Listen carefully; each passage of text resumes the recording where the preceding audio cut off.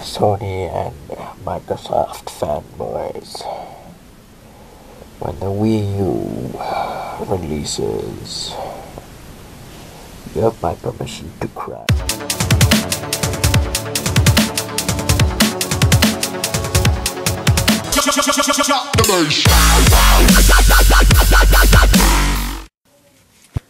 Welcome to Nintendo Opinions. We're going to be talking about the recent Nintendo news, starting off with could the Wii U be getting a name change? The reason for this being is they don't want to confuse consumers the same way that they confuse people that the 3DS might just be an, another DS, so it's not an upgrade. And this is the same issue that they could be having with the Wii and the Wii U. Their names being so similar, people may not realize that one is far better than the other, and they may not want to upgrade.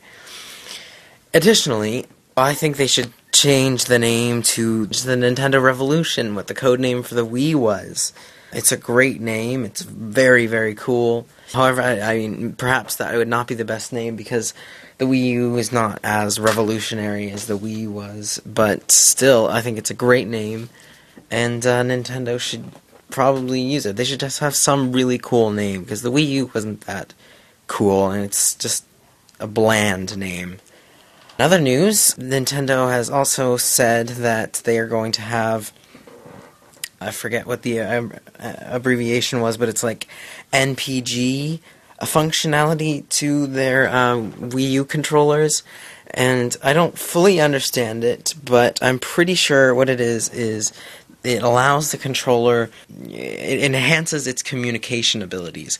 And i think they an example of what it can do is kind of like the uh, spyro skylanders thing the controller is able to recognize like objects in real life and bring that into the game. So that's pretty cool. It's I heard it's kind of like augmented reality, and it kind of works in that aspect. I don't see it being used a whole lot, but it's cool nevertheless.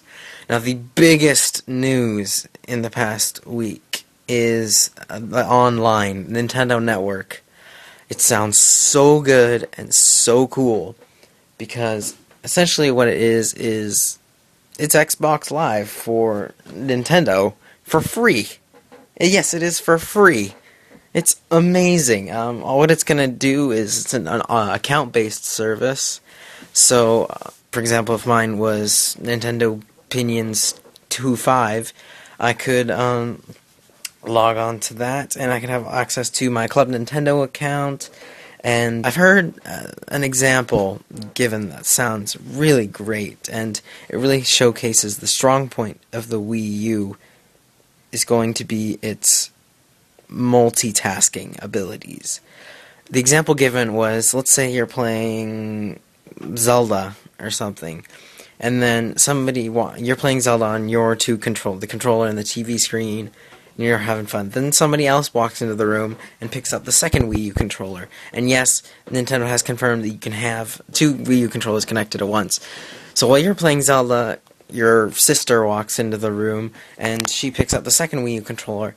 And while you're playing the game, you do not have to leave it. She can access her own Nintendo Network account and she can just start scrolling through the uh, ebooks or anything that she's purchased on her account. She can access it while you're playing. And it's just a great multitasking. Sounds really, really great for the Wii U. And I hope that follows through. And then another key feature is that you will be able to have downloadable content, DLC, finally for the Wii U. I mean, and um, this both of these features are going. Well, the Nintendo Network is going to be available for the 3DS as well as the Wii U, and in addition, it can also offer downloadable retail games. So what that means is if the new Mario 25 comes out and you want to be able to get it but you don't want to go to the store, you can just go on to your Nintendo Network account, go to the eShop or whatever, and you can download it straight to your console and this is a way to prevent piracy in some ways, but they're not going to do it, release it immediately because of they're having issues with like retail stores. I'm sure GameStop's going to have a lot of complaints about this. And so that's the that's the main news. Um, now it's time for a little commentary and that there's been a lot of rumors about the Xbox 720 and how it's only only 20% more powerful than the Wii U, uh, which has been compared to the PlayStation 3 and the 360. PlayStation 3 was only about 20% more than the Xbox, and the difference is hardly noticeable, which is fantastic for next next generation for all the consoles to be on the same level of power, which is it's unbelievable.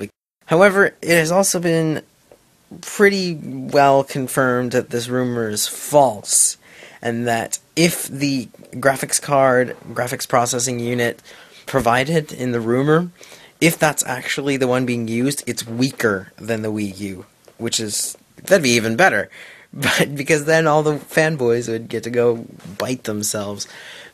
Additionally, you guys, with all these new rumors and uh, things coming out about the Nintendo Network being released, and then Satoru Iwata recently stated that it is the Wii U is definitely coming out in all regions before Christmas, and if you watch Dark Cloud 1983's recent video about Nintendo Network, you should definitely check him out, you guys. He knows he knows what he's talking about, and he knows his Nintendo stuff, and he gets insider info because he's a shareholder. And basically, I think he might know what the release date is because several times in that video he stated November, November, November, November. So I, I'm fully expecting the Wii U to be released in November, but I, I'm just so excited, you guys, and I hope you are too.